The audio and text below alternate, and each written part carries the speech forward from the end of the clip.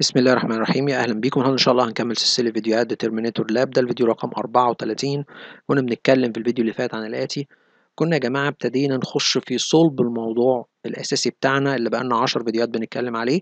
فكرة التجهيز إزاي أقدر أسطب نسخة ويندوز ببرامجها على أجهزة كتير مرة واحدة. خلاص العملية دي هتتعمل عن طريق حاجة اسمها ال MDT وال WDS تمام؟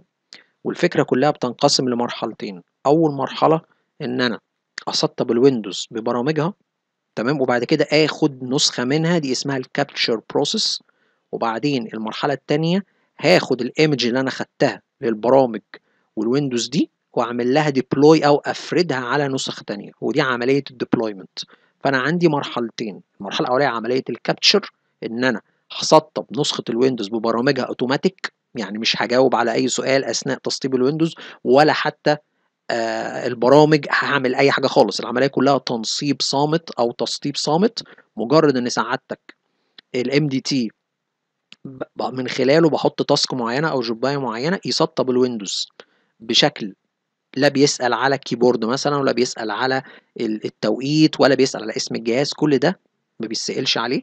والبرامج كلها بتسطب لا بيسألني مكان البرنامج فين ولا حتى تسطيب البرنامج بيظهر قدامي. كل ده بيخلص. بعد كده بيتعمل capture أو بيتاخد نسخة من الويندوز ببرامجها بس قبل كده طبعا بيتعمل حاجة اسمها sysprep وإحنا عارفين sysprep اتكلمنا عليها وبعد كده بياخد نسخة من الويندوز ببرامجها. هناخد بعد كده نسخة الويندوز ببرامجها دي ونعمل لها deploy نفردها على أكتر من جهاز. خلاص دي عملية ال deployment خلاص؟ عملية ال capture وعملية ال deployment هنتم عن طريق ال MDT فإحنا الفيديو اللي فات ابتدينا نجهز لعملية ال capture خلاص دخلنا ال MDT وابتدينا نعمل نجهز عملية ال capture إيه بقى تجهيز عملية ال capture كنا دخلنا كل اللي عملناه لو تلاحظوا هنا أهو ابتدينا إيه؟ نخش نقول له إيه الأنظمة اللي هتنزل. الويندوز 10 الويندوز 11 الويندوز server ظبطنا دنيتنا. وبعدين إيه التعريفات؟ ما هو الجهاز اللي هينزل عليه ويندوز ده محتاج تعريفات. تعريف كارت الشاشة تعريف كارت الشبكة. إيه التعريفات؟ نشوف الموديلات اللي عندنا في الشبكة. ونجيب تعريفاتها ونخلي ال MDT يزق التعريفات دي أثناء تسطيب الويندوز. خلاص؟ فدي فكرة ال WinPE layout تمام؟ وبعد كده جينا في حتة اسمها bootstrap و custom setting الاثنين دول مسؤولين على إنه مسألة تسطيب الويندوز والبرامج يكون صامت بيجاوب لك على كل الأسئلة أو كل الاختيارات اللي بتتعرض عليك أثناء تسطيب الويندوز أو البرامج هو بيجاوبها بشكل أوتوماتيك وبيكمل عملية التسطيب اوتوماتيكيا. خلاص؟ بحيث إن أنت ما تشوفش أي حاجة قدامك. مجرد تفتح الجهاز الويندوز تنزل ببرامجها كل حاجة تمام. خلاص؟ دي فكرة ال custom وال bootstrap واتكلمنا على الاثنين دول. وبعدين حتة ال monitoring قلنا إن إحنا عايزين أثناء عملية ال capture أو عملية ال deploy محتاجين إن إحنا يكون العملية متراقبة ومتسجلة. خلاص؟ دي الفكرة كلها في فكرة اللي عملناه المرة اللي فاتت. عملنا المرة اللي فاتت عملنا ال folder بتاع ال capture ظبطنا دنيتنا قلنا له إيه الأنظمة اللي هتنزل إيه البر... إيه خدوا بالكم لسه ما سطبناش البرامج. قلنا له إيه الأنظمة اللي هتنزل ويجاوب على الأسئلة بتاعة تسطيب ال Windows automatic ويراقب عملية التسطيب خلاص ده عملناه بالنسبة لل capture عايزين نعمل نفس الكلام في ال deploy لازم نروح نقول له نعمل فولدرات كده أهو بنفس الشكل ده بس الفولدرات دي مش هتحتوي بقى على نظام ال Windows. لا هتحتوي على نسخة ال Windows بالبرامج. خلاص كده؟ نفس الترتيب ده. يعني إحنا هناخد نسخة Windows 10 ببرامجها فهنعملها في ال deployment folder deployment. وال Windows 11 نفس الشيء. هنعمل نسخة منه أو نسخة ال Windows 11 ببرامجها هتتحط برده فين؟ في ال deployment share. خلاص؟ وهنعمل نفس الكلام. وبرده هنعمل bootstrap setting و custom setting لل deployment. عايز أثناء ال deployment برده ما تسألش أسئلة. وأنا بعمل deployment لنسخة ال Windows بالبرامج. ونفس الشيء بالنسبة لل monitoring فعايز أعمل نفس الكلام. يعني يا جماعة إحنا بنعمل إيه دلوقتي؟ في ال capture وال deploy بنظبط دنيتنا بحيث أثناء ال capture ما نسألش أي سؤال في تسطيب ال Windows وأثناء deployment نسخة ال Windows برامج برضه ما نسألش أي أسئلة. تمام؟ ويبقى العمليتين متراقبين عن طريق ال monitoring زي ما قلنا ونظبط دنيتنا بحيث انه كل شيء يبقى تمام. بعد ما نظبط الحكاية دي كلها نبتدي بقى نشوف بقى في عملية ال capture وإحنا بنسطب ال Windows دي. عايزين برامج تتسطب بشكل صامت. هنحط البرامج في ال capture folder وفي أثناء ال deployment افرض إن أنا بعد ما أخدت نسخة ال Windows بالبرامج وأنا بفرد النسخة دي حبيت أزود برامج برضه هزود برامج في ال deployment share هنشوف الكلام ده كله واحدة واحدة. بس إحنا المرة اللي فاتت زي ما قلنا كده جينا في ال capture وظبطنا كل الكلام ده كله. يعني لو جينا رحنا كده أهو على الفيديو اللي وقفنا فيه المرة اللي فاتت لو تفتكروا في الحتة دي آه إحنا كنا وقفنا فين؟ عملنا أهي خلاص نسخ ال Windows وتظبيط الدنيا كلها.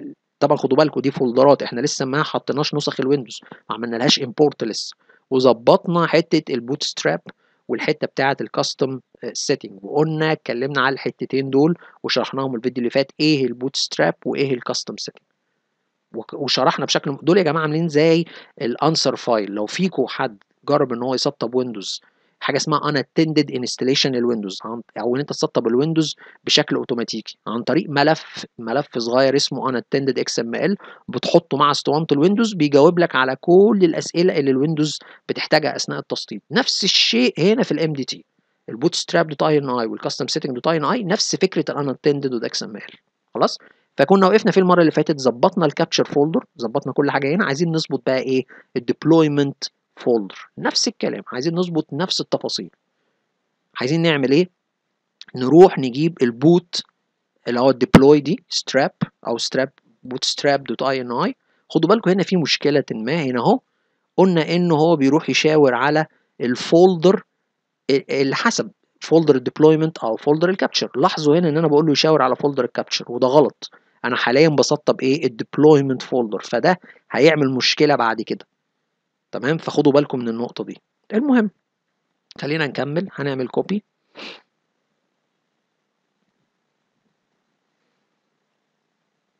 تمام؟ right click وهنقول له properties أول حاجة طبعا إحنا هنا محتاجين نسخة ال 64 bit مش هنشتغل بال 68 وأدي ال bootstrap dot INI. لاحظوا إن هي اسمها deployment share خلاص؟ ده بيشاور على ال deployment share هنا أنا قايل له شاور على ال capture على ال capture share وده غلط. لازم يشاور على ال deployment share أو على folder ال deployment خلاص؟ طيب كده ظبط الدنيا. عايزين نكمل بقى إيه شوية الحاجات التانية. في حاجات تانية برضو لسه هنعملها. ال custom setting dot INI برضو محتاج إن أنا أحطه. طبعا أنا عامل كذا نسخة من ال custom setting تمام؟ يعني أنا قايل له أكتر من حاجة. عامل واحد اتنين تلاتة أربعة. براحتكم بقى. عايزين يجاوب على أسئلة معينة. يعني أنا هنا عامل أكتر من نسخة بس عشان ما أطولش عليكم. أنا هنا عايز أعمل إيه؟ عايز أوريكم بصوا النسخة اللي أنا هشتغل عليها اللي هي deployment 2 تمام؟ أنا عامل أكتر من custom setting dot INI. فأنا هاخد مش كمان ال deployment 2 هاخد ال deployment 3 ده folder بص أهو ده فيه كل الأسئلة متجاوبة. تمام كده؟ وهشرح لكم لما نيجي نوصل لمرحلة ال deployment الأسئلة دي معناها إيه؟ أو الإجابات دي معناها إيه؟ لو حد بص كده هيلاقي الموضوع بسيط.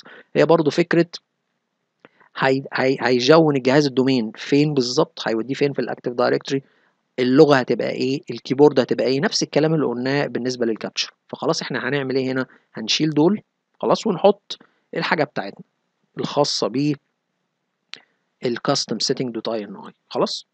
لاحظوا في شوية تفاصيل. على فكرة واضحة جدا يا جماعة وسهلة قوي يعني لو كل حد واحد بص هنا أهو هنا مثلا بقول له إيه؟ آه بص هنا مثلا الجهاز ده مثلا فيها هنعمل task اسمها كذا. دي اسم ال task في ال MDT هقول له لو سمحت لما تسطب نسخة ال Windows دي حط لها ال product key ده أو ال serial ده. والجهاز ده اللي هي join ال domain تحطه فين؟ تحطه في حتة معينة في ال Active Directory بمنتهى البساطة. تمام؟ وهنا نفس الشيء جاوب على أسئلة معينة. هنا مثلا join ال domain فلازم أديله user name و password عشان ي join المكنة دي ال domain أسئلة سهلة وبسيطة للغاية. حتى لما نيجي نشوف عملية ال deployment هتلاحظوا إن كل حاجة ماشية بشكل سلس. وهناقش لكم برضو الموضوع ده بشكل مفصل أكتر. بس إحنا حاليا بنجهز دنيتنا بس. لما نوصل لعملية ال deployment الحقيقية هنبتدي نشوف بقى الحاجات دي معناها إيه. خلاص؟ طيب فإحنا كده ظبطنا دنيتنا أهو. هنيجي هنا على ال WinPE نفس الكلام اللي هي ال boot image هتبقى 64 bit. وال scratch space size دي إحنا قلنا عليها برضو الفيديو اللي فات.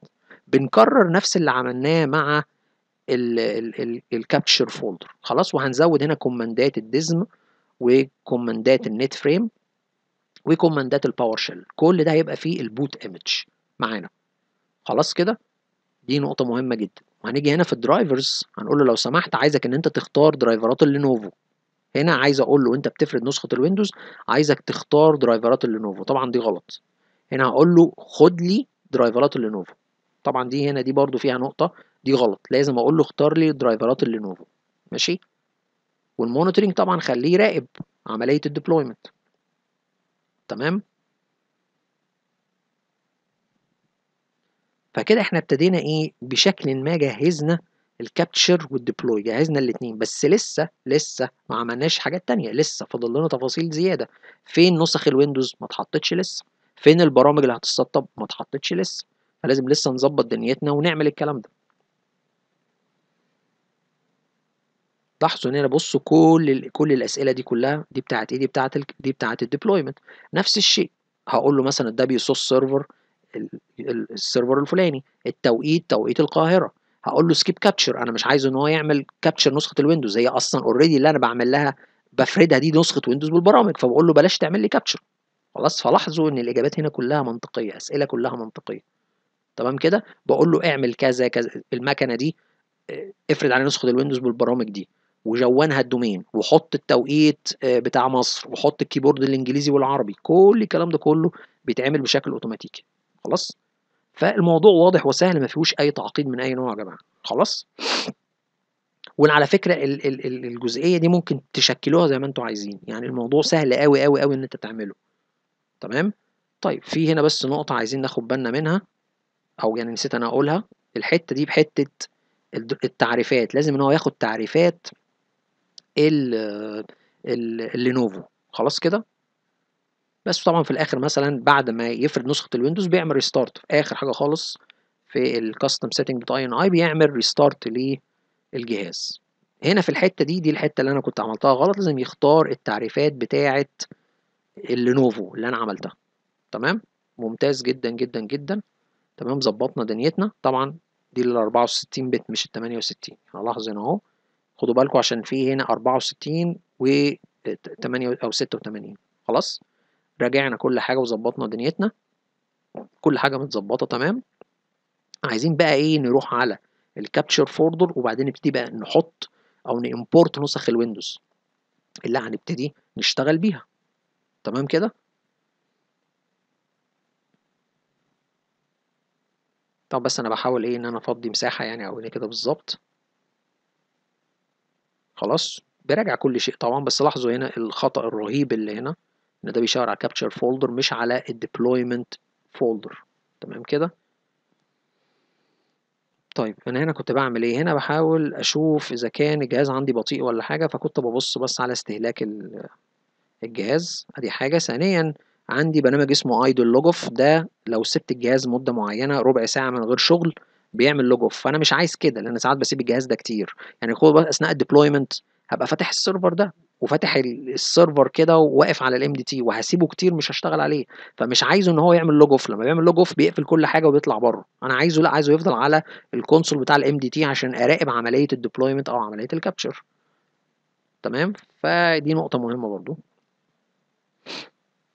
هنيجي بقى للنقطة المهمة أو المفصلية يعني اللي بنتكلم فيها فكرة إن أنا أبتدي بقى أحط نسخ ال Windows أحط كل أسطوانة Windows وبعدين أبتدي أعمل لها import جوه ال MDT دي مهمة جدا. وبعد كده أبتدي بقى أحط البرامج import البرامج أحط البرامج اللي هتتسطب. خلاص كده؟ دي نقطة مهمة جدا. طيب أول حاجة المفروض أعملها إيه؟ البرامج نفسها مش كنا دانيال عامل لها folder اسمه deploy و capture في ال MDT lab ال folder اللي إحنا كنا حاطين فيه source ات ال lab بتاعنا. يعني لو هتفتكروا معايا لما نيجي ندخل كان هو دانيال brother عامل folder اسمه MDT lab حاطط بقى جواه كل اللي إحنا نزلناه في أول فيديو ال MDT نفسه وال ADK والبرامج وكل التفاصيل دي كلها. فكان عامل folder ين folder اسمه deploy folder اسمه capture ال deploy وال capture دول حاطط فيهم البرامج اللي هنسطبهم على نسخ ال Windows. زي ال PowerShell 7 زي ال Office 365 زي الكلام ده كله. يعني لو تفتكروا آدي يعني عشان برضه أفكركم آدي طبعا أنا هنا بعمل إيه يا جماعة؟ أنا هنا بس أنا عندي اللي هو ال folder اللي هو متشاير ما بين اللابتوب وما بين ال virtual machine مش ظاهر على ال MDT server ظاهر على ال domain controller فيعني عايز أروح أخد هنا أهو الحاجة اللي أنا عايزها بتاعه دانيال براذر وأنقلها على ال ال ال ال server ده. خلاص؟ آدي capture و deploy فاكرين؟ إحنا عملنا folder اسمه capture و deploy على ال MDT ده جواه البرامج والحاجات اللي هتتسطب خلاص كده؟ بس فاضيين. folder اسمه capture و folder اسمه deploy لو تفتكروا آدي ال MDT lab خلاص؟ وال files في ال prerequisites في هنا إيه؟ folder في ال tools اسمه capture و deploy ده فيهم البرامج والحاجة. وإحنا على ال file server عاملين فولدرين بنفس الاسم. فهنكوبي دول ونبدلهم هناك. خلاص عشان دول دول موجودين على ال MDT server اللي هو في نفس الوقت file server يبقى دول هوريكم دلوقتي يعني دلوقتي دول هيبقوا موجودين على ال MDT server بعد ما يتحطوا هناك هروح بقى أخش على ال MDT console وابتدي بقى import البرامج دي. تمام؟ أو أحطها. تمام؟ عملية أوتوماتيكية بحتة بحتة ما فيهاش أي نوع من أنواع الصعوبة خالص. كل شيء ماشي أوتوماتيكي زي ما بنقول. خلاص؟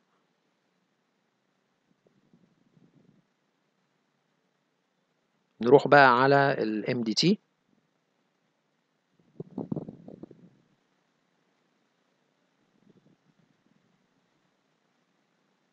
هي دي هنروح على ال MDT server خلاص؟ بصوا لو فتحنا ال E تمام؟ وآدي ال share ال folder اسمه share اللي حطينا فيه البرامج اللي هتتسطب. خلاص آدي ال capture. هنبتدي أول حاجة نعمل إيه؟ ننزل بقى أسطوانات أو نسخ ال Windows. بس طبعا هنا أعتقد أنا نزلت نسخ ال Windows المرة اللي فاتت. لا ما نزلتش نسخ ال Windows المرة اللي فاتت. غالبا غالبا ما نزلتش نسخ ال Windows. حد علمي يمكن ما عملتلهاش import ممكن. المهم هو عايز يعمل إيه دلوقتي؟ عايز يحط البرامج. يعني أثناء ال capture يا جماعة وإحنا بنسطب نسخة ال Windows إيه بقى البرامج اللي هتتحط عليها؟ وبعدين ناخد نسخة بال Windows بالبرامج اللي هي البرامج بقى اللي هي CMTrace وال PowerShell والكلام ده كله. طبعا عملية import بتاعة البرامج دي ليها طريقة معينة. خلاص؟ هوريها لكم بحيث إن أنتوا تبقوا عارفين. يعني أول حاجة هنقول له right click أول حاجة هنعمل فولدرات اسم folder لكل إيه لكل برنامج. CMTrace Log تمام؟ ده أول folder اتعمل folder لل application اللي اسمها CMTrace خلينا نمشي واحدة واحدة. هنا بنعمل إيه؟ هنا ده ال folder اللي عامله أو ال text اللي عامله دانيال براذر بارباريوس إزاي إن أنت هت هت هتعمل عملية ال import هنا مديك الاسم. هيقول لك أول حاجة تعملها اعمل folder بالاسم ده. اسمه CMTrace Log تمام؟ بصوا على التفاصيل. ده اسم ال folder يعني أول حاجة بيقول لك اعمل اسم ال folder وبعدين دي التفاصيل. الشركة اللي عاملة البرنامج. اسم البرنامج بالكامل. ال version بتاع البرنامج أو الإصدار بتاع البرنامج اللغة بتاعة البرنامج وفي الآخر خالص السكريبت اللي هيسطب البرنامج ده بشكل صامت. خلينا نمشي واحدة واحدة. أول حاجة بنعملها بنعمل إيه؟ بنروح applications ونعمل folder باسم البرنامج. وبعد كده نبتدي نملى بقى تفاصيل البرنامج. ماشي؟ خدوا بالكم إحنا هنعمل ده مرة وهنكررها. فأنا هشتغل معاكم أول واحد وتاني واحد والباقي هيتكرر فمش هنحتاج إن إحنا نعمل الكلام ده. خلاص؟ فخلينا نمشي كده واحدة واحدة. أهو. يعني مثلا إحنا عملنا أول folder اسمه CMTrace Log خلاص. ده أول folder لأول برنامج. لاحظوا إن هو بياخد أول سطر دايما. أول سطر ده اللي هو اسم ال folder أقول له new folder خلاص وهنعمل كده ونعمل كده. خلاص. هنعمل ال capture وال deploy ماشي؟ ادي Microsoft Edge تمام. right click و new folder بالترتيب كده العملية سهلة خالص. Edge تمام؟ أهو. و finish تمام؟ وبعدين ال image state reset دي بتبقى عملية قبل موضوع أو عمل حاجة عاملة زي ال Sysprep كده. هو السكريبت هو عامله بي بيعمل زي ال Sysprep كده أو بيجهز المكنة لل Sysprep تمام؟ تمام؟ system state reset تمام؟ أهو.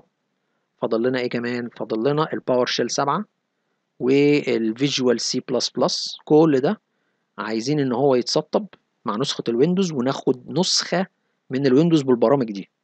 تمام؟ copy وهنعمل ادي folder كمان.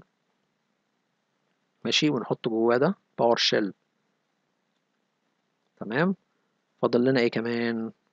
في اللي هو فيجوال سي بلس بلس تمام؟ لاحظوا إن هو دايما بياخد السطر الأولاني. ده ال folder اسم ال folder طبعا هو كان محتاج يكتب شوية بس يعني إيه الراجل كتر خيره برضه منظم الدنيا قوي أدي أول سطر ده اسم ال folder ماشي؟ right click أهو و new. وآدي. طبعا العملية دي يا جماعة عملية فيها عملية روتينية. فأنا في سكريبت إن شاء الله هوريه لكم إن هو يعمل العملية العملية دي كلها بشكل أوتوماتيكي. بس خليكم إيه الأول تشوفوا الطريقة بالطريقة العادية وبعدين نشوفها بالطريقة السريعة. خلاص؟ ده بالنسبة للبرامج اللي هتتسطب مع نسخة ال Windows وبعدين ناخد نسخة منها. أثناء بقى فرد نسخة ال Windows بالبرامج دي قد تحتاج إن أنت تسطب برامج إضافية. نيجي بقى لحتة ال deploy أو ال applications اللي هتتسطب أثناء ال deploy. خلاص هنا برضو هنعمل فولدرات ونظبط دنيتنا.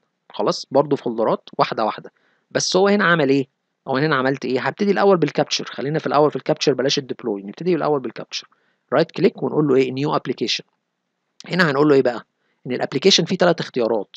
يا إما أنت بتشاور له على ال folder اللي فيه البرنامج خلاص وهو بياخد copy من الملفات دي ويحطها جوه ال capture folder خلاص؟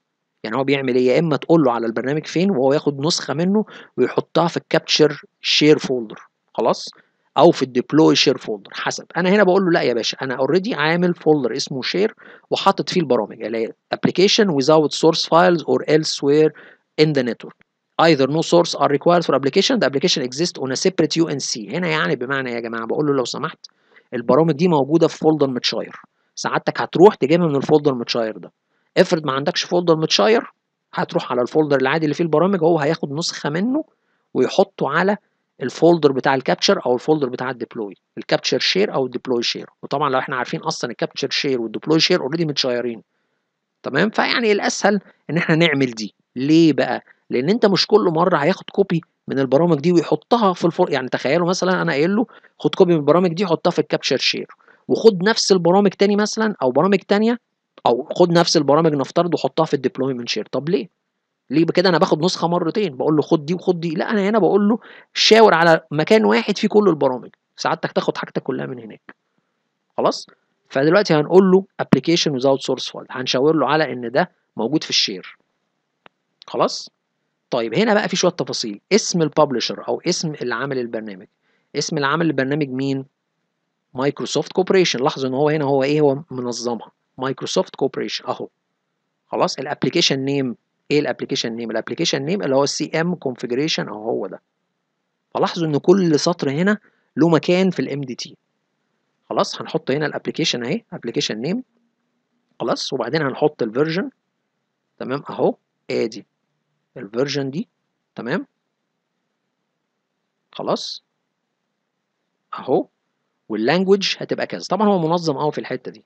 language خلاص؟ آدي البرنامج بكل تفاصيله. طبعا دي عملية روتينية اللي عايز يعملها بس طبعا هو منظم قوي فده شيء كويس. ال command line بقى إيه؟ ال command أو الأمر اللي هتكتبه عشان يسطب البرنامج بشكل صامت. يعني على سبيل المثال هنا هيقول له آدي command هقول له run ملف اسمه ws script. ملف اسمه ws script exe البرنامج ده هيشغل ملف اسمه hidebad.vbs خلاص كذا كذا كذا. طيب إحنا عايزين نعرف إيه؟ اولا عايز أعرف إيه الملف اللي اسمه hidebad.vbs ده؟ خلينا نروح نبص عليه. اولا هو بيقول لي run برنامج اسمه wscript.exe ولما البرنامج ده يشتغل يرن ملف اسمه hidebad.vbs خلينا نشوف الملف ده فين بالظبط. ادي prerequisites وادي tools. وادي capture فين الحته بتاعت cm trace اهو. ادي الملف اسمه hidebad اهو هو ده. تمام؟ نشوف كده لو قلنا right click و edit نبص بيقول إيه. اهو. بيقول له كذا كذا كذا. هو رن البرنامج اللي اسمه wscript.exe install.bat يعني hide vbs ده بيقول له إيه؟ hide vbs ده بيقول له إيه؟ روح run الملف اللي اسمه install.bat يبقى ادي install.bat لو قلنا له edit إيه بقى؟ install.bat اهو. install.bat بيقول له شغل لي أو رنني سطب البرنامج اللي اسمه cm trace. وهنا هيرنه عن طريق إيه؟ عن طريق ال PowerShell أو هيسطبه عن طريق ال PowerShell طك طك طك طك كذا. تمام؟ يعني باختصار يا جماعة ال command ده بيقول له لو سمحت. عايزك إن أنت ترن أو إن أنت تسطب برنامج ال CM trace تسطبه بشكل صامت. خلاص؟ يعني دلوقتي بقول له شغل w script dot exe. ده ملف. الملف ده هيروح يرن البرنامج ده أو يرن السكريبت ده. السكريبت ده هيروح على ملف تاني اسمه install dot bat ده اللي جواه هيسطب برنامج ال CM trace. أو من خلال الملف ده هيسطب برنامج ال CM trace. خلاص؟ ده جزء مهم. عايز أفهم أنا الكلام ده. يعني أنا لو حبيت مثلا أفهم السطر ده معناه إيه ممكن طبعا إن إحنا نسأل جوجل Bard نقول له إيه الايه إيه آه إيه ال command ده عبارة عن إيه. خلينا نكتب كده نقول له نشوف الأمر ده ونشوف هيقول لنا إيه. حاجة اسمها w script تمام dot exe خلينا نشرح له. أو هو يقول لنا إيه اللي- إيه إيه معنى السطر ده. exe هنقول له hide bat dot vbs تمام. وبعدين خلينا نفهم بقى إيه التفاصيل التانية. يعني إيه slash b slash no log دي. خلينا نشوف. هنقول له نقول له يشرح لنا. slash b slash خلاص. no logo. no log صح؟ أو هي اسمها إيه؟ استنى كده نشوف نقول له slash هي اسمها no logo ولا اسمها إيه؟ اسمها no logo. أهو. نقول له لوجو. عايزين نقول له إيه بقى؟ ثواني كده. هنقول له explain this line in simple terms. خلاص؟ عايزين نقول له كده. أهو كده أهو. كده. ونشوف هيقول لنا إيه هيقول لنا إيه.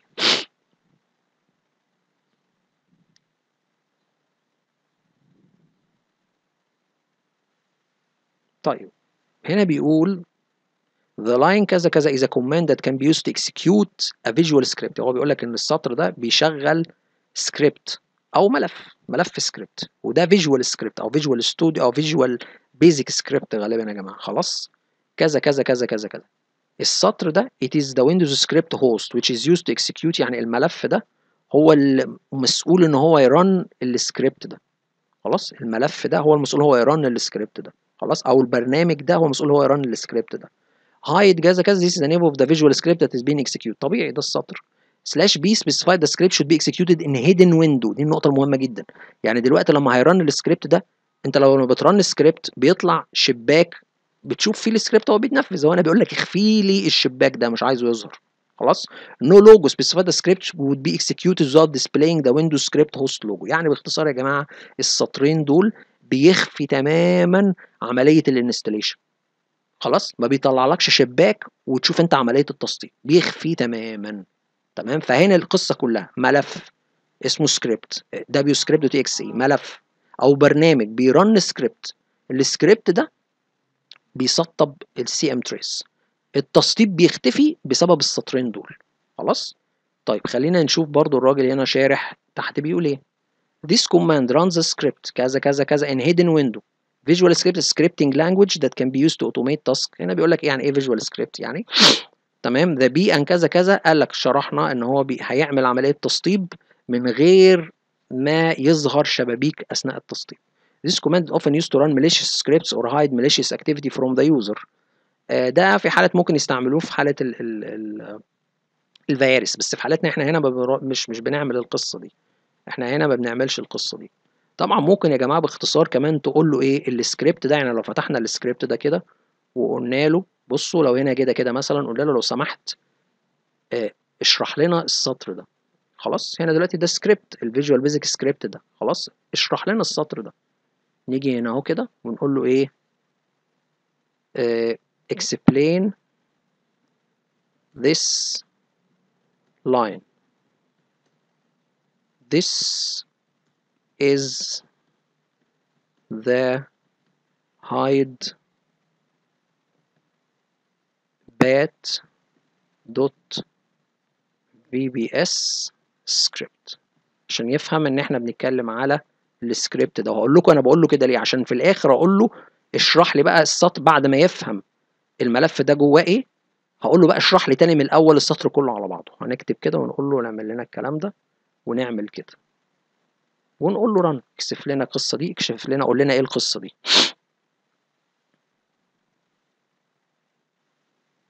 طيب ال line ده بيقول إيه؟ أهو السطر ده. Is a script that creates a new instance of Windows script. host shell and then execute the batch file كده يعني من الآخر هو بيقول اختصارا يعني إن هو بي run ال script ده بي run ملف اسمه install.bat خلاص؟ طيب إيه الصفر و true اللي في الآخر دي؟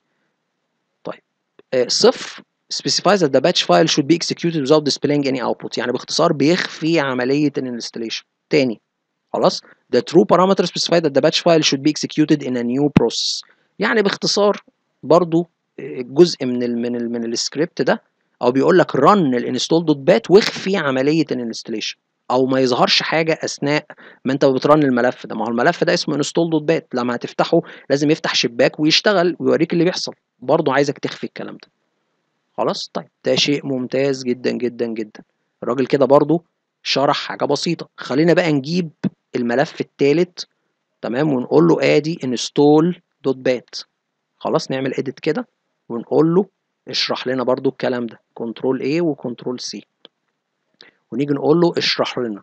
هنقول له explain. تمام؟ لاحظوا أنا بعمل إيه.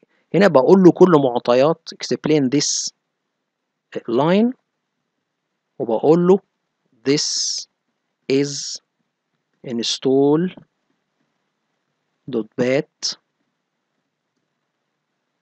file. ونروح حاطين له السطر ده ونقول له كده. ونقول له اشرح لنا.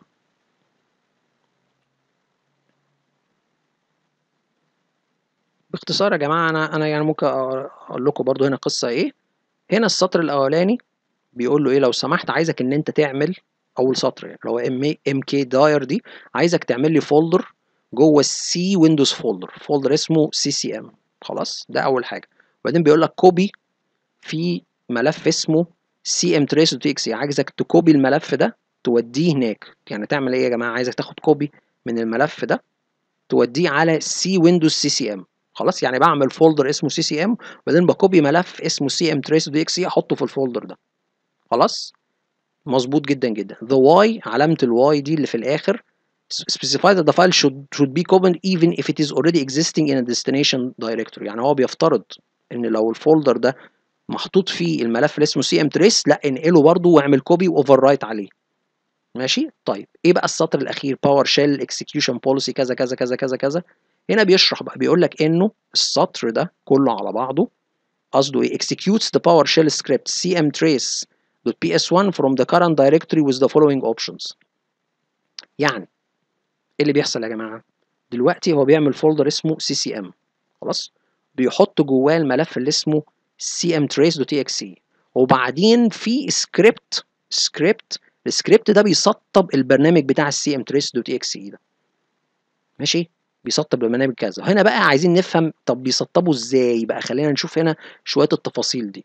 Set execution policy bypass bypass the execution policy. بمعنى إنه لو ده هيترن عن طريق الـ PowerShell الـ PowerShell ما بيسمحش إن أنت ترن عليه سكريبت أو هيفتح شباك PowerShell لما تيجي ترن سكريبت هيقول لك لا لا لا لا اديني اديني اديني صلاح أو يقول لك إيه لو سمحت اسمح لي إن أنا أرن السكريبت ده. فالـ execution policy bypass بقول له بص يا PowerShell أي سكريبت هيشتغل عليك من خلالك رنه ما عنديش مشكلة. خلاص؟ No profile prevents PowerShell from loading the user profile. طبعا مش فاهم الحتة دي. Non interactive prevents PowerShell from displaying any prompts or messages. يعني هنا بقى بيعمل إيه؟ برضه نفس الفكرة. هترن السكريبت ده بس مش هيظهر لك أي حاجة خالص. ولا أي messages خالص. خلاص كده؟ هنا بيقول له الـ file ده مكان السكريبت هيرنه فين؟ خلاص؟ و style hidden بيخفي الشباك بتاع الـ PowerShell يعني نلاحظ إنه من أول الـ hide الـ hide bat dot VBS وبعدين install dot bat وبعدين كلها عملية مخفية. الراجل خافي العملية تماما. طبعا عملت الكلام ده كله ليه؟ عشان أجي في الآخر أقول له لو سمحت اشرح لي كله بقى مجمع. هنا بيشرح لك بيقول له this batch file creates a new directory in Windows directory. عرفنا. وبيـ copy ملف. عرفنا القصة. وبعدين بيرن PowerShell script اللي يبتدي يسطب البرنامج اللي هو عمل له آه copy في الـ folder ده. الدنيا ماشية تمام. خلاص كده؟ طيب خلينا نقول له بقى إيه؟ نرجع تاني نقول combine. خلاص نيجي نقول له إيه بقى؟ عشان برضه نشرح نقول له combine. The. ونقول له إيه بقى؟ آه مش نقول له combine نقول له ماشي combine. The previous responses. بقول له لو سمحت كل اللي أنا قلته لك قبل كده ده يعني احفظه جمعه على بعضه and explain again this line. قول له لو سمحت اشرح لي السطر ده. تاني هنطلع فوق بعد ما ادينا له كل البيانات اللي هو عايزها عايزين نقول له لو سمحت اشرح لنا بقى تاني من الأول السطر ده. بقى عنده الـ hide dot bat VBS قلنا له المحتويات بتاعته والـ install dot bat قلنا له المحتويات بتاعته قلنا له كل حاجة. فعايزين بقى نقول له لو سمحت اشرح لنا السطر ده تاني من الأول. أهو. كده اهو. ثاني كده. نقول له copy كده وبعدين نرجع تاني نقول له paste بس خلينا نقفل ده كده.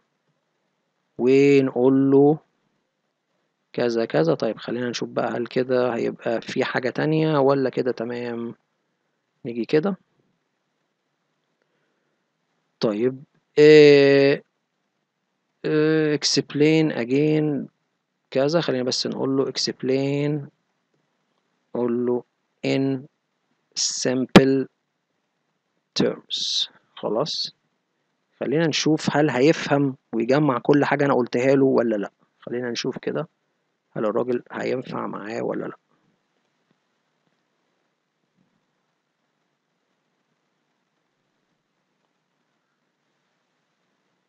طيب بص بقى يا سيدي هو هنا قال لك إيه؟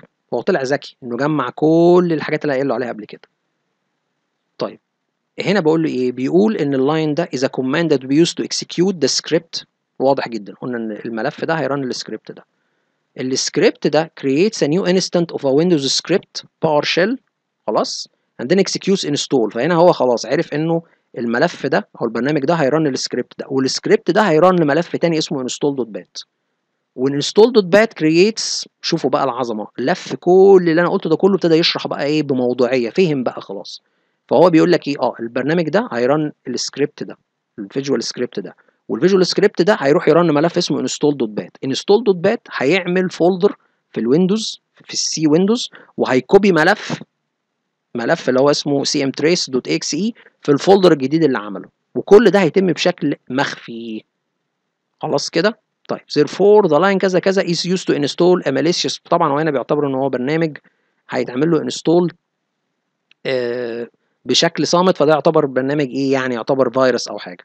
خلاص كده؟ بس هو فاتته حتة هنا. هو هنا ما حطش حتة الـ PowerShell script اللي إحنا جبناه في الآخر اللي هو الحتة الأخرانية دي. هو ما شرحش الحتة الأخرانية دي. فاكرين السطر اللي هو إيه؟ السطر ده. اللي هو PowerShell ما شرحش الحتة دي. هو شرح install بس على فكرة والله شرحها. هو شرح اللي هو install dot bat دي ده اللي جوه الـ install dot bat بس ما شرحش آخر سطر فيه يعني. بس يعني بشكل إيه مبسط بشكل مبسط ادي يا جماعة القصة كلها. الراجل عامل سكريبت بيرن الـ CMTrace بيسطب الـ CMTrace بشكل صامت. آدي كل التفاصيل كلها. شفنا الليلة ماشية إزاي ولما مشينا واحدة واحدة مع جوجل بارد إزاي إن قدر يدينا تفاصيل الموضوع ماشي إزاي وعامل إيه. خلاص. فدي يعني تجربة ممتازة بالنسبة لي وبالنسبة لكم إزاي إن أنتوا تتعاملوا مع الذكاء الاصطناعي. خلاص؟ فخلينا نيجي بقى تاني ونكمل شغلنا. أهو. ده السكريبت. وعلى فكرة كل الـ scriptات كلها ماشية كده. خلاص؟ أدي السكريبت أهو. خلاص؟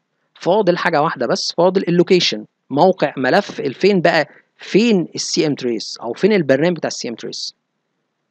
هنروح مش فاكرين أنا عملت folder اسمه share وحطيت فيه البرامج كلها. تمام؟ أهو. folder اسمه share لو تفتكروا. لو فتحنا كده. أهو.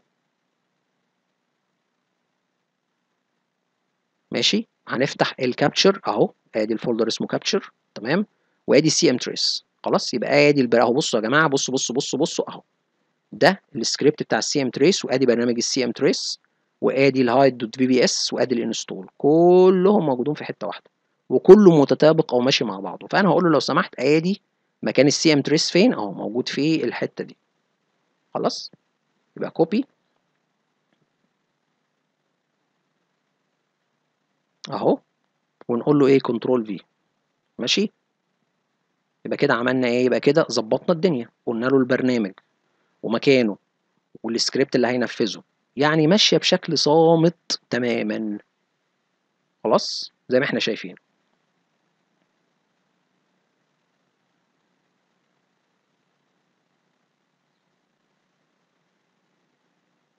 ماشي؟ آدي كده باختصار شديد next ماشي؟ و next تمام؟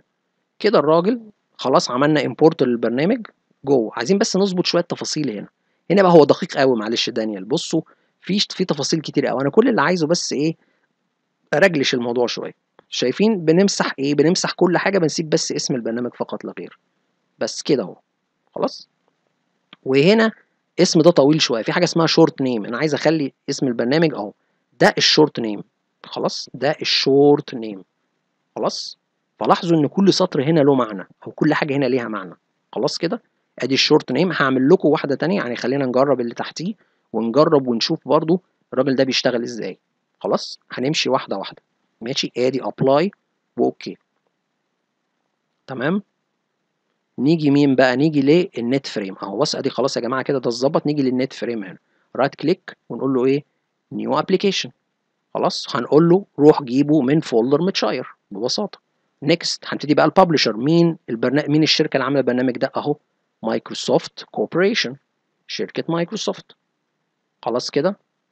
لاحظوا معايا واحدة واحدة. آدي Microsoft Corporation تمام؟ ال application اسمها إيه؟ السطر اللي فوقيه. وكلها على فكرة على كل البرامج واحدة نفس الترتيب. آدي اسم البرنامج. خلاص؟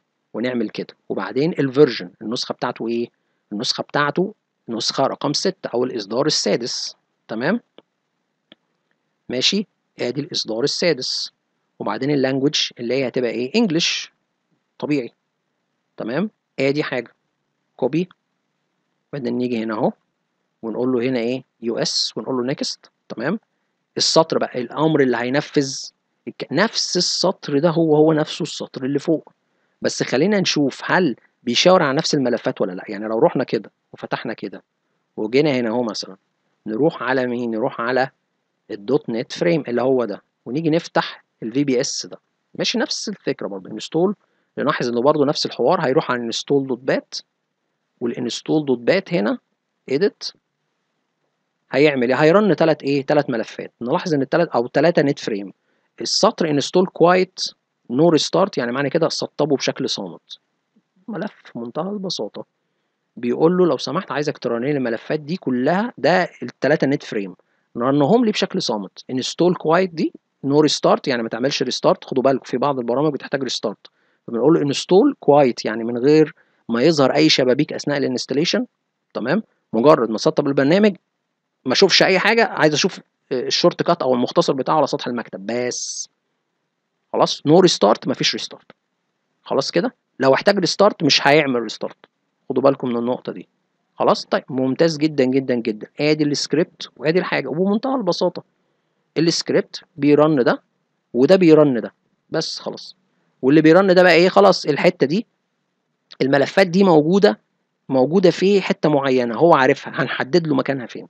خلاص؟ فده بمنتهى البساطة. برضو سكريبت بسيط ما فيهوش أي مشاكل. خلاص نكمل كده أهو. سكريبت وفهمنا يعني إيه B ويعني إيه إنه لوجو فهمنا دي وفهمنا دي. هو الراجل حريص على إنه ال installation ما يظهرش منه حاجة خالص. تمام كده؟ طيب آدي ال .NET Frame خلاص عايزين ناخد مكانه بقى. آدي ال .NET Frame لاحظوا بصوا يا جماعة أهو. آدي الملفات كلها أهي. اللي كانت موجودة في ال script install dot bat آدي الملفات أهي. خلاص فبالتالي إحنا كده ماشيين بشكل ممتاز. إحنا ماشيين مظبوط. خلاص هنيجي هنا أهو كده. خلاص. هننزل تحت. هنا طبعا أنا بعمل إيه يا جماعة؟ هنا آه عايز إن أنا بدل ما كل شوية آه آخد copy بقى وأنا عايز أكتب هنا المكان بتاع ال server مرة واحدة يعني. عايز عايز أعدل أخلي العملية كلها هنا موجودة برده في ال text file ده. بدل ما كل شوية أفتح ال run و copy لا لا عايز أخلي الموضوع كله ظاهر قدامي دلوقتي. خلاص فأدي كده فبظبط نفسي يعني. بدل ما كل شوية إيه بقى أكوبي وبيست وأكوبي وبيست لا كده بظبط الدنيا. خلاص؟ هعمل الكلام ده لل capture وال deploy تمام؟ أهو. ماشي؟ بحيث إن تبقى العملية مظبوطة ما احتاجش بقى كل التفاصيل دي كلها. أو كل شوية بقى copy و paste و copy و paste ماشي؟ أهو.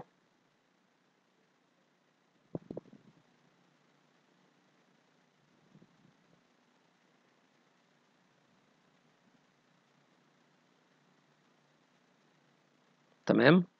بس خلاص عايزين بقى إيه نروح نشاور له على المكان ده. copy خلاص. ونروح له هنا أهو في الشباك تاني هنا أهو. ونشاور له على ال location أهو. ده. و next. خلاص. و next. نبتدي بقى إيه نعدل شوية في الشكل بقى شوية تعديلات كده. نظبط الدنيا بقى. اولا إحنا عايزين بس اللي هو اسم البرنامج فقط. عايزين اسم البرنامج Microsoft .NET Frame ومش عايزين الإصدار. نلاحظ إن هو بيحب ينظم قوي يعني إيه الدنيا بتاعته. وال short name ده ال short name ده اللي هو فين؟ اللي هو اللي فوق ده. أهو ده الآخر ده هو ده ال short name ده ال short name خلاص؟ أهو فين؟ آدي دي إف. أهو ده ال short name الحتة دي اسمها ال short name هو طبعا مش كاتب هنا مش ظاهر في ال text file بس هو ده ال short name بيكرر نفس الكلام. اللي عمله في CMTrace عمله في. dot NET Frame خلاص؟ مش عايزين تعملوا الكلام ده براحتكم يا جماعة. هي عملية كلها عملية تنظيمية بحتة. الراجل بيحاول ينظم دنيته على قد ما يقدر. خلاص؟ ادي apply و OK تعالوا نجرب برضو إيه واحدة كمان. أنا عارف إن العملية فيها تكرار بس خلينا نجربها كمان عشان إيه برضو ما نتوهش. خلينا ماشيين معاه. نشوف. ويمكن في اختلافات. يمكن يكون في سكريبت فيها في في مشكلة فيها اختلافات. تمام؟ طبعا أنا بعمل إيه هنا؟ أنا بعمل هنا ده عشان ال text file تحت فيه deploy فعايز برضو أعدل مكان ال server هنا بدل ما هو FS واحد share ده لا يبقى اللي هو إيه ال location بتاع ال server بتاعي. تمام كده؟ فبغير برضو نفس الكلام. أهو slash VLC خلاص. نفس الكلام هعمله فين على الباقي؟ خلاص. خلينا بس نشوف كده يا جماعة إحنا بقالنا قد إيه شغالين عشان الوقت ما يطولش. إحنا بقالنا ستة وأربعين دقيقة. ماشي. نكمل ساعة بس. المهم فهنظبط دنيتنا كده.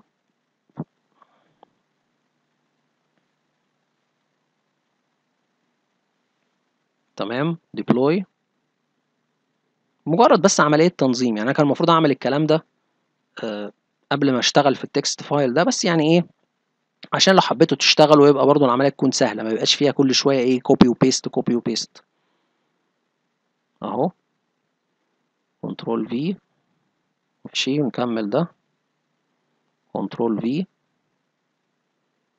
ماشي وبعدين عملية تنظيمية بحتة زي ما بنقول عملية بس بترتب أمورك.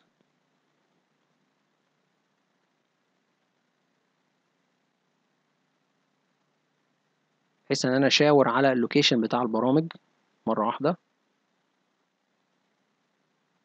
طبعا في هنا برامج كتير قوي عندنا Notepad عندنا ال Office عندنا كذا حاجة. أهو. تمام.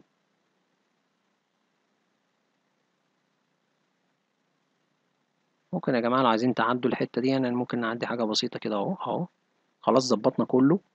عدلنا كل الحاجات اللي إحنا عايزينها. خلاص. كله بقى متظبط بيشاور على ال folders اللي فيها البرامج سواء في ال capture أو في ال deploy نيجي بقى في الحتة بتاعة ال Edge إحنا بقى حاليا في المرحلة بتاعة ال Edge تمام؟ أهو هنيجي لل Edge right click و new application تمام؟ ونقول له ادي source البرامج. تمام next وببساطة نرجع تاني نشتغل أهو آدي. المايكرو الشركة اللي عاملاها Microsoft Corporation تمام. أهو. Microsoft Corporation وبعدين اسم ال application السطر اللي فوقيه. copy تمام. أهو. ما تقلقوش يا جماعة في سكريبت هعمله هي هيخلص الأمور دي كلها إن شاء الله مش مش هنضطر نقعد نكتب ونعمل الكلام ده كتير يعني. خلاص؟ وآدي الإصدار بتاعه. تمام؟ واللغة. اللغة هتبقى اللي هي ال English. تمام؟ أهو. بعدين next وبعدين هنحتاج السطر بقى اللي هو برضو script dot VBS ده. خلينا نروح برضو نبص بص على السكريبت ده.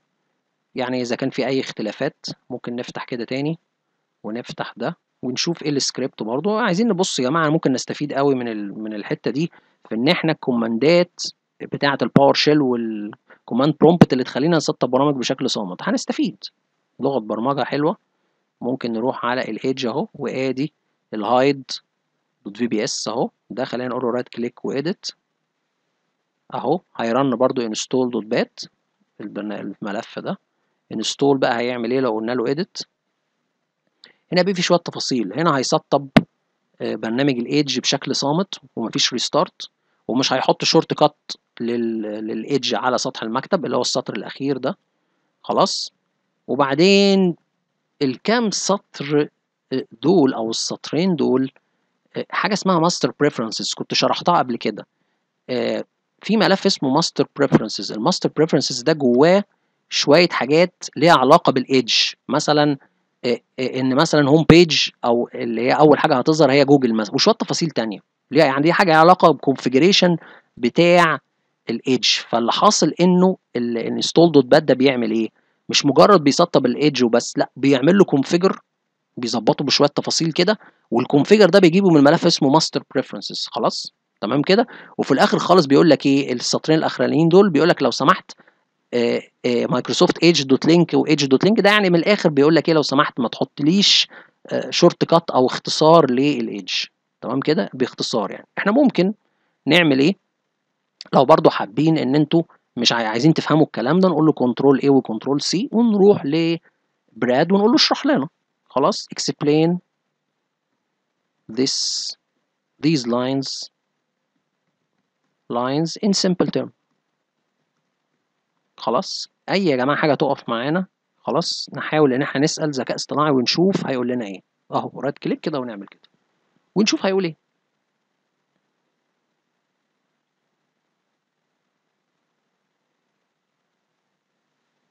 أهو الراجل بيبتدي يشرح بيقول لك إن أول سطرة is used to install Microsoft Edge. خلاص silent يعني بشكل صامت. أدي أول حاجة.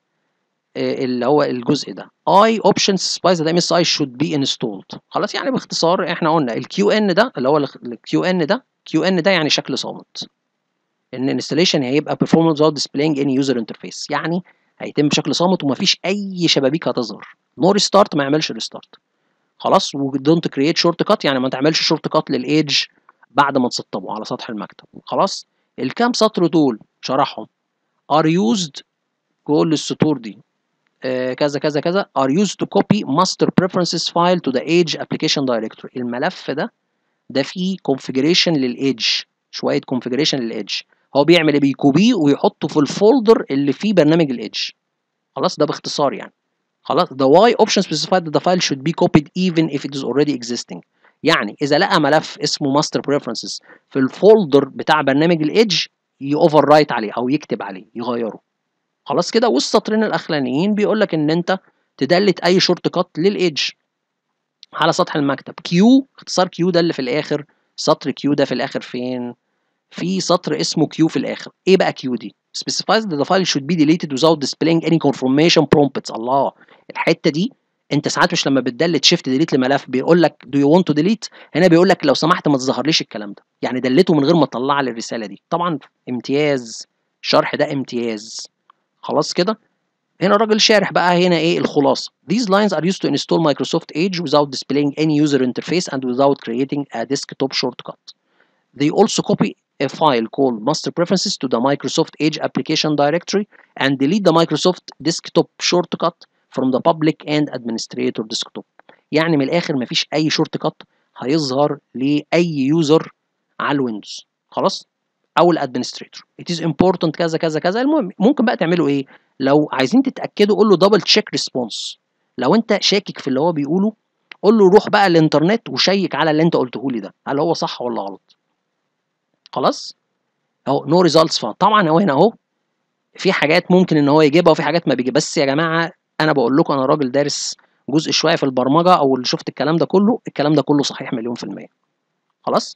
فآدي استفادتنا بقى إن إحنا دلوقتي بنشوف كوماندات وبنستفيد. إحنا كده اتعلمنا إن إحنا لو عايزين نسطب حاجة بشكل صامت نعمل إيه؟ لو عايزين ن configure ال Edge بشوية حاجات نعمل إيه؟ لو عايزين إن إحنا ندلت ملف من غير ما يظهر لنا علامة التأكيد بتاعة ال delete نعمل إيه؟ كل الكلام ده كله إحنا بنستفيد. فده شيء ممتاز جدا جدا جدا. خلينا بقى إيه؟ نكمل ونشوف الدنيا فيها إيه؟ آدي آه الملف ده أهو. يبقى كده إحنا هنحط البرنامج أهو سكريبت وبعدين هنحط له ال location بتاعه. خلاص. أهو. و next next تمام. finish خلاص. أنا بس هكمل معاكم ده ال application نفس الكلام بالنسبة لل image state بس قبل كده طبعا محتاجين إن إحنا نظبط الدنيا دي هو نظبط بقى شوية الاسم بتاع ال Edge. ما يا جماعة إحنا خلاص قربنا نخلص بس هناخد الكام الثلاثه الفاضلين دول هو فاضل اتنين كمان. بنظبط بقى شوية تفاصيل زي ما أنتم شايفين كده. بنريجيستر الأسامي وال short cut هيبقى اسمه edge. تمام؟ تمام copy وبعدين هنا هنحطه. paste apply okay okay تمام؟ image state بقى. ده اللي المفروض إن هو الراجل كان دانيال قال إنه بيعمل بيجهز الجهاز لعملية ال sysprep. فخلينا برضو إيه أنا عايز أشوف ال image state أو ال- ال- الملف ده أو القصة دي إيه ال- إيه المكتوب؟ إيه اللي هو المفروض image state ده؟ عبارة عن سكريبت بيعمل إيه بالظبط؟ خلينا نشوف. اولا هو هنا مسمي الشركة MDT lab يعني طبعا لأن هنا مفيش شركة هي اللي عاملة السكريبت ده. ده user عادي آه، يعني غير مشهور هو اللي عمل السكريبت ده. خلاص؟ copy image state اهو ده اسم البرنامج. الإصدار ملوش إصدار طبعا ان هو سكريبت بسيط يعني. هو رقم واحد هو قايل السكريبت رقم واحد يعني. تمام اهو. وبعدين هنا اهو English اهو. وخلينا بقى نشوف برضو السكريبت بتاعه يبقى عبارة عن إيه. اهو نحط ال command ده. طبعا عارفين wscript dot كذا. خلينا برضو نشوف السكريبت ده عبارة عن إيه. نفهم برضو. إحنا عايزين نفهم طبعا يا جماعة كلها عملية إفادة لينا إحنا لأن هو عبارة عن سكريبتات وإحنا أغلبنا ما بيشتغلش سكريبتات كتير. فخلينا نشوف برضو هو الراجل ده هنا قايل لنا إيه بالظبط. آدي capture وبعدين ال image state أهو. آدي الراجل عامل إيه؟ آدي hide dot bat ده اللي هو ده. برضه هي run ال install خلينا بقى نشوف ال install ده هيعمل إيه بالظبط. install edit هنا بقى هيعمل إيه؟ هي run ال reg file. في ملف اسمه image state. dot reg. ده ملف. خلاص كده؟ وهي copy ملف اللي هو اسمه فيه. يعني بصوا يا جماعة هو هيعمل إيه؟ ده بيقول له لو سمحت عايزك ت run لي الملف اللي اسمه image state reg ده. وعايزك ت copy الملف اللي اسمه state dot ini ده عايزك ت copy لي الملف ده تحطه في ال C Windows setup state كذا كذا كذا كذا. طب إحنا لا محتاجين هنا إن إحنا نفهم شوية ال- القصة اللي هو بيتكلم فيها دي. عايزين إن إحنا آه، نسأل جوجل bard. نسأله على اولا ال registry key ده بيعمل إيه وده بيعمل إيه. فأنا عايز أقول له إيه؟ right click و edit خلاص؟ ونقول له لو سمحت عايزك تعمل إيه؟ control A control C خلاص؟ اولا اولا عايزين نعمل إيه؟ عايزين نقول له install dot bat ده لو قلنا له edit كده أهو. ده دي واضحة. هي run registry key معين وهي run ملف. وإحنا عايزين نعرف ال state dot i ده بيعمل إيه وال registry key ده بيعمل إيه. فخلينا نروح نسأله ال registry key ده عبارة عن إيه؟ أهو كده. نقول له لو سمحت explain this registry key in simple terms. خلاص وبعدين نقول له اشرح لنا ده بيعمل إيه. خلاص اهو كنترول في ونقول له اعمل لي كده. ونشوف ده عبارة عن إيه بالظبط.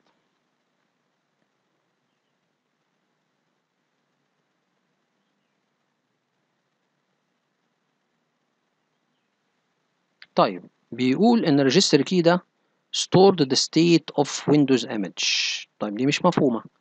آه، كذا كذا indicates that the Windows image is in a generalized state and is ready to be resealed to OOBE طيب resealing a Windows image involves removing all machine specific information from the image such as the computer SID دي حاجة شبه السيس بريب خلاص آه هو هنا حتى كاتب تحت بيقول the generalized state is typically reached by running the system preparation tool with the generalized option تمام ده in simple terms. ده كي كذا هبتدي يشرح بقى. يعني هو طبعا العك ده كله عايز يدي اختصار. Indicates that the Windows image is ready to be deployed to multiple computers. خلاص يعني أنا من اللي هو بيجهز هنا ال ال ال يعني الكلام ده هيترن طبعا أكيد بعد ما تكون البرامج كلها نزلت ون- ونسخة الويندوز نزلت. هيت run ال registry key ده. خلاص؟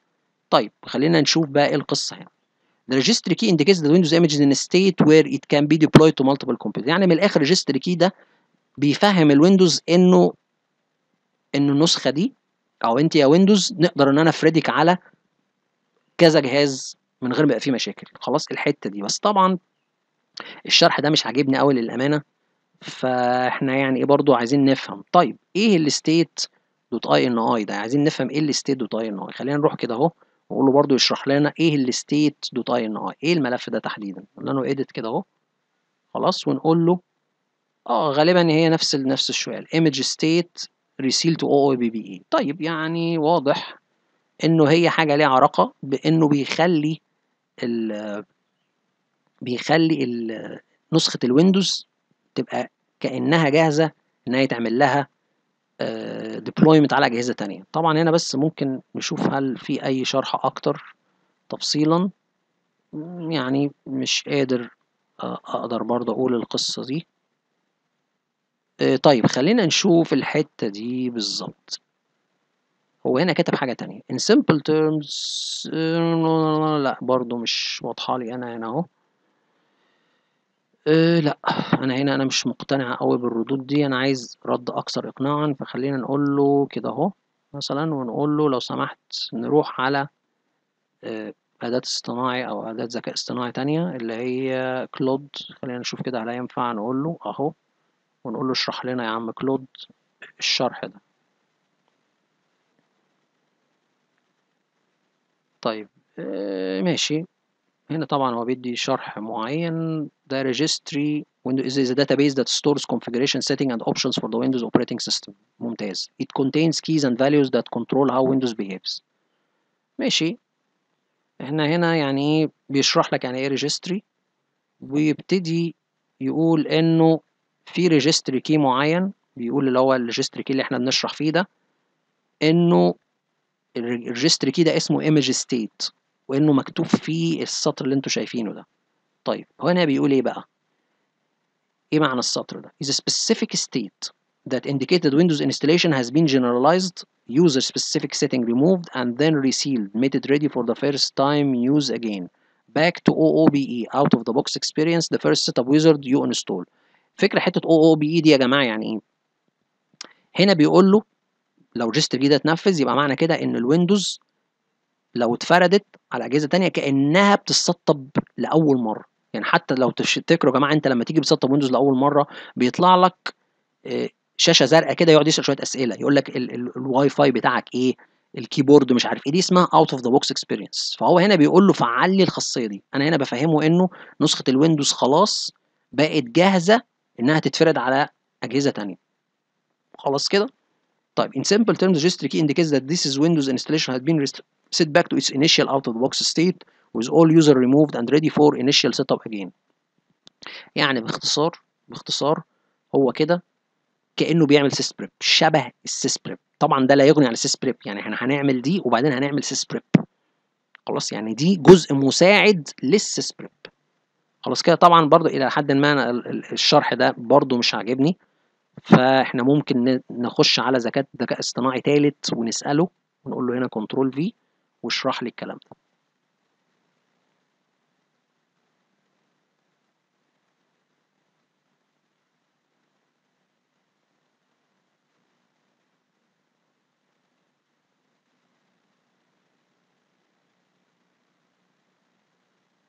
طيب هو هنا بيقول إيه بقى؟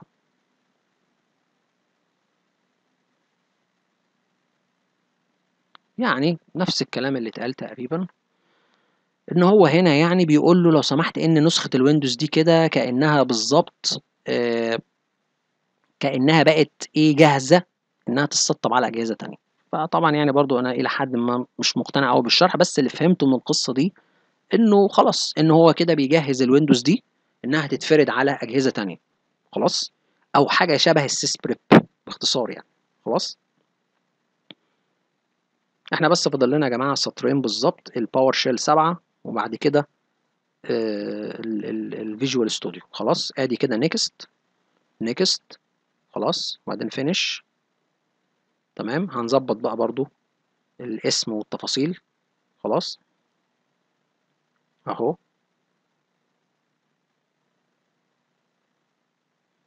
وهناخد بقى إيه الاسم اللي هو ال short name اللي هو ده image state copy بنروح ودي هناك.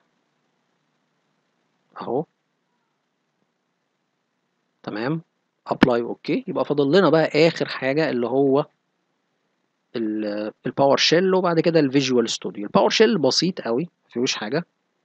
برضو نفس الكلام. هنا بقى السطر بتاع ال PowerShell سهل قوي يعني السطر بتاع ال installation بتاعه سهل بصراحة. يعني ممكن أقول لكم بيتشرح من هنا يعني.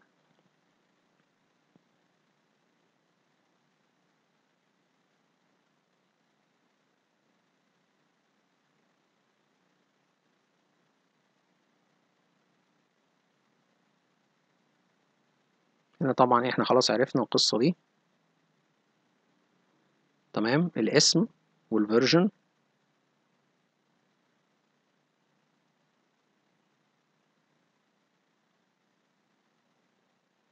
تمام؟ سبعة تلاتة تلاتة والنسخة نسخة انجليزي. هيجي بقى السطر. عايز اوريكم السطر الاخير ده اللي هو بتاع السطر بتاع ال installation ده. ده سطر مهم لأن فيه شوية تفاصيل كده مهمة. خلاص لو أنا next طبعا ال command line بصوا بقى السطر ده كله باختصار شديد يعني في جزء منه quiet. طبعا quiet ده يعني اعمل له install بشكل صامت ما يظهرليش منه أي حاجة. شوية بقى التفاصيل اللي في الجنب دي هقول لكم عليها في جزء منها آه، وانت بتسطب ال PowerShell 7 تمام بيسألك عليها. يعني بصوا خلينا الأول نحط الأول السطر ده كله على بعضه وبعدين هشرح لكم هو إيه اللي هو كاتبه ده. خلاص؟ يعني أهو السطر ده. يعني خلينا كده أهو بس نعمل السطر ده كده أهو أهو. بصوا يا جماعة نرجع تاني أهو. معلش أنا عايز أرجع تاني أهو. وأنا رحت فين؟ لا نرجع تاني كده حاجة بسيطة. نرجع حاجة بسيطة كمان. أهو بصوا نرجع حاجة كمان لورا كده. أهو كوبي أنا عايز بس أوريكم حاجة. copy وآدي السطر. معلش أنا طبعا إيه؟ copy أهو. تمام. خلينا نرجع تاني. ادي السطر ده خلاص. ومكانه فين طبعا؟ خلينا بس الأول إيه اوريكم حاجة مهمة. وأنت بتسطب ال PowerShell 7 يعني إيه؟ خليني أقول لكم. Power شيل 7 installation options. خليني أقول لكم كده هنا إيه وهو بيسطب. ادي الايمجز فيه بيظهر شوية حاجات كده وهو شغال. خليني اوريها لكم. لا مش هي دي. uh, installation. لا عايز أجيب لكم installation فين؟ أيوه هي حاجة بتظهر. أيوه هي دي. بصوا بقى يا جماعة. شايفين دي؟ add PowerShell to path environment. registry كذا. شوية الحاجات دي انت بتعلم عليها اثناء ال installation بتاع ال PowerShell الأربعة دول الأربعة دول هم اللي موجودين في السطر ده. هنا بيعلم عليهم. الأربعة دول هو اللي بيعلم عليهم في السطر ده. خلاص يعني السطر الطويل العريض ده اللي من أول quiet يعني خلينا اجيبكم كده. افتكروا أدي الأربعة دول. الأربعة دول أنت وأنت بتسطب بتعلم عليهم. هو في السطر بتاع ال installation معلم على دول. خلينا اوريكم السطر. لو جينا هنا أهو كده مثلا وجينا نشوف السطر ده. أدي اللاب وأدي prerequisites وأدي tools وأدي ال capture وأدي ال PowerShell 7 طبعا بس هنا هنا مش ظاهرة في هتظهر في ال text file. فين؟ السطر. ادي ال layout اهو. ثواني. عايز أجيب لكم السطر بتاع الايه فين؟ اهو. هو ده السطر ده. كده اهو. كده ونقول له copy ماشي. ماشي. كل ده بقى add explorer context add run PowerShell remote PS remote كل ده كله هو اللي موجود فين؟ هو اللي موجود في في المنيو دي.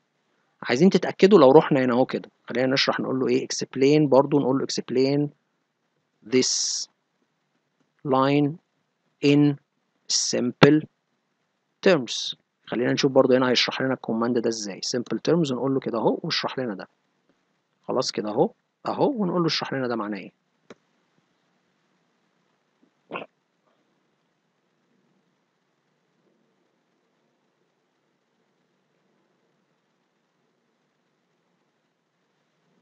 طيب آدي هنا باختصار بيقول لك the command that be used to install PowerShell ماشي مظبوط جدا. تمام؟ package اللي هو أول سطر package دي specifies the path to the PowerShell الملف اللي هيسطب منه ال PowerShell quiet يعني without displaying any user interface يعني هيسطب بشكل صامت. add explorer context menu powershell 1 adds an open shell option to the right click context menu in windows. يعني يا جماعة لما بتعمل بصوا يا جماعة لما بتعمل right click هنا هو عايز قصدك إيه؟ بيقول لك إن لو أنت لو سطبت ال PowerShell عملت right click كده عايز يظهر ال PowerShell 7 دي اسمها context menu عايزه يظهر لي ده كده. عايز في أي حتة أعمل right click يظهر لي ال PowerShell 7 ماشي؟ دي آدي حاجة. طيب اللي بعديها بيقول لك إيه؟ آه كذا كذا. Add run with PowerShell option to the right click context menu. Add run with PowerShell. بصوا يا جماعة لو عملت كده right click خلاص وعملت كده. في هنا open كذا كذا. طبعا دي حاجة. وبعدين لو في PowerShell script لو عملت right click كده بص أهو run with PowerShell 7 يعني عايزه يضيف لي ال option ده. خلاص؟ آدي ال option التاني. طيب إيه ال option بقى اللي بعد كده؟ enable PS remoting. يعني إيه enable PowerShell remoting يعني اللي هو ال option ده يا جماعة. لو جينا بصينا هنا كده. installation أهو. PowerShell remoting دي يعني أقدر إن أنا أقدر أخش remotely بال PowerShell حاجة enable PowerShell remote يعني أقدر أخش remotely أو عن بعد على جهاز عن طريق ال PowerShell خلاص؟ فدي مهمة جدا جدا جدا. خلاص؟ لاحظوا شوفوا الكام سطر دول بيتكلموا في إيه بالظبط. خلينا نرجع بقى نشوف بقية إيه؟ الشرح. register manifest كذا. Registered PowerShell manifest Windows operating this is necessary for PowerShell to be integrated with other Windows features. يعني باختصار بي بيخلي ال PowerShell يشتغل مع ال Windows Explorer وال Task Scheduler خلاص؟ ماشي. use MU enable the Microsoft update mechanism for PowerShell. هنا طبعا ده اللي سطب منكم ال PowerShell 7 بيقول له لو سمحت اعمل تحديث لل PowerShell 7 عن طريق ال Microsoft Windows Updates خلاص كده السطرين دول في الآخر. اللي هو use MU 1 و enable MU 1 دي يعني بقول له لو سمحت الباور شيل 7 تعمل له ابديت عن طريق المايكروسوفت موقع مايكروسوفت طبعا ممكن تقول له عن طريق ده بيسوس بس هنا هتختلف القيمة. خلاص كده فبالاخر الراجل بيشرح اهو بيقول لك this command installs PowerShell 7 and adds option to the right click context menu in Windows Explorer دي انا شفناها and run PowerShell scripts. It also enable PowerShell remoting and registers the PowerShell manifest with Windows 10 operating system. Finally, it enables the Microsoft update mechanism for PowerShell. It is important to note that this command should be used uh, to install PowerShell from a trusted source. يعني الراجل شارح الموضوع بشكل منمق جدا جدا جدا. لو عايز تتأكد طبعا من من الإجابة. والراجل بص جايب لك حتى السورسز بتاعته جايبها منين؟ بصوا أهو. جايب جاب الكلام ده منين؟ أهو. بصوا. فيعني الراجل مدينا شرح مفصل للغاية.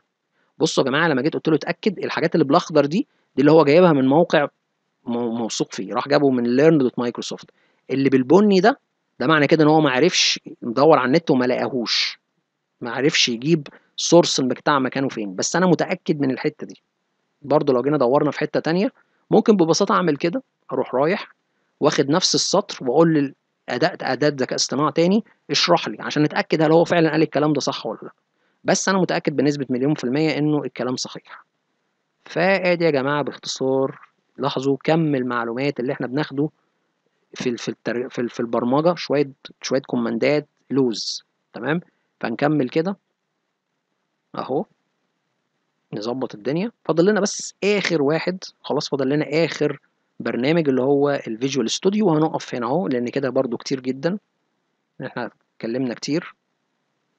هنيجي لل Visual Studio وكده يبقى خلاص ظبطنا الدنيا. copy. وبعدين آدي مكان Shell 7 next. next. finish وبعدين برضو هنظبط التسمية بتاعته. أهو. PowerShell 7 تمام. وال short name بتاعه. أهو. يبقى فاضل آخر حاجة الجزء الخاص بال Visual Studio تمام. أهو. apply okay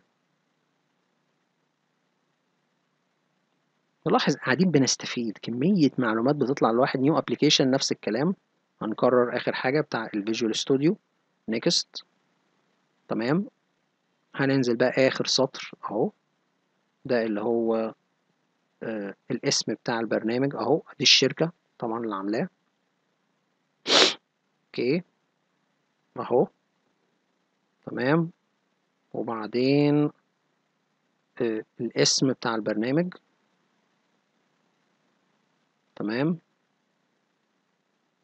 وبعدين ال version أو الإصدار. تمام؟ اللي هو عشرين اتناشر عشرين اتنين وعشرين دول اللي هي ال Visual C plus plus الإصدارات اللي نزلناها من عشرين اتناشر لعشرين اتنين وعشرين. وبعدين اللغة اللي هتعمل بيها. وبعدين السكريبت فاضل لنا السكريبت تمام؟ next وبعدين ال command line ممكن برضو نشوف هو السكريبت ده عبارة عن إيه هل في أي اختلافات؟ أدينا بنستكشف. لو فتحنا كده كده أهو وبعدين ال MDT lab وبعدين ال prerequisites then tools وبعدين capture وبعدين خلينا نشوف الجزء الأخير hide.bat برضو نفس الكلام install هيروح يرن ال install ال install right click ونقول له edit. أهو. بيرن كله يا جماعة أول ما تلاقي quiet no restart دي يعني هيسطبه بشكل صامت. اهو سطب البرامج دي كلها بشكل صامت من غير restart خلاص؟ فشيء ممتاز جدا. يبقى إحنا كده ما عندناش أي مشكلة في السكريبت ده. خلاص؟ هناخد السطر.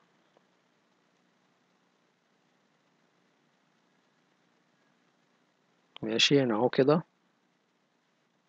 بنحط ال location بتاعه.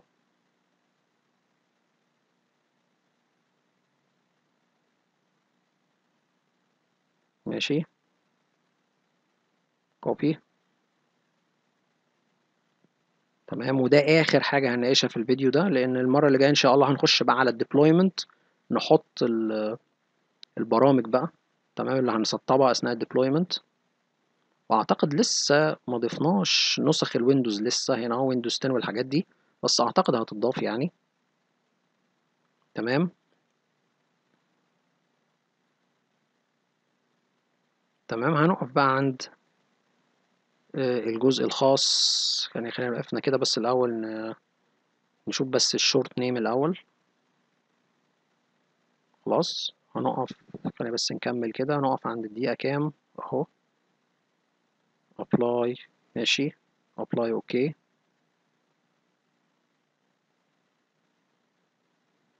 ماشي. كده خلاص ظبطنا الليلة كلها. هنا بس في نقطة يعني أنا هقف معاكم هنا عند الحتة دي عند الدقيقة خمسة وخمسين واحد وعشرين. إن شاء الله الفيديو اللي جاي بس في حاجة ناقصة عايزين نعملها. نلاحظ إن ترتيب الفولدرات مش تبع الترتيب الأبجدي. يعني إحنا عايزين نعمل إيه؟ هو راجل عامل سكريبت هيظبط إن الفولدرات تبقى تترتب حسب الترتيب الأبجدي. يعني ال C وبعدين يبقى ال D وبعدين ال E هنا مش مترتبة صح. فهو عامل سكريبت جابه بيظبط ترتيب الفولدرات ده حسب الترتيب الأبجدي. فأنا مش هطول عليكم ان شاء الله الفيديو اللي جاي نعمل الحتة دي. وبعدين نخش في ال deployment share نسطب البرامج برضو اللي هتسطب أثناء فرد نسخ ال Windows Office ايا كان والتفاصيل كلها. فخلينا نقف دلوقتي عند دقيقة 55 21 أتمنى يكون الفيديو عجبكم ما تنسوش تشتركوا في القناة وتفعلوا جرس التنبيهات وذلك بلا شك فضلا منكم ليس امرا مني.